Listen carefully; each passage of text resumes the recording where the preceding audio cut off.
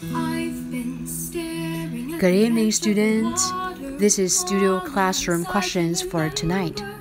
Question 1 Who are new arrivals? Or what are new arrivals? Can we use the phrase new arrivals to describe people or things, or both?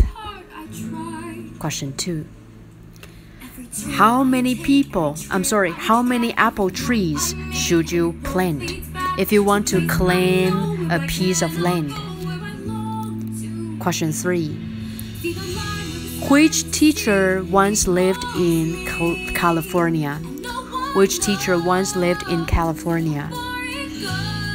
Question 4 What is a bad apple? Or what are bad apples? Do you know where this phrase originally came from? Give me the whole sentence.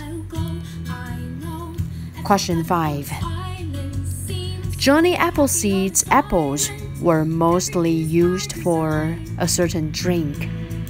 What was that drink? And tell me everything you know about this drink. Question 6 What does the phrase pave the way for mean?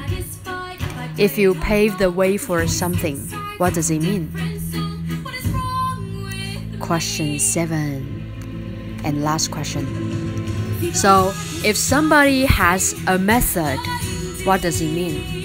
If somebody has a method to his or her own madness, what does it mean?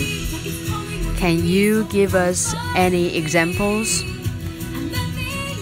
Okay, so these are the essay questions for tonight.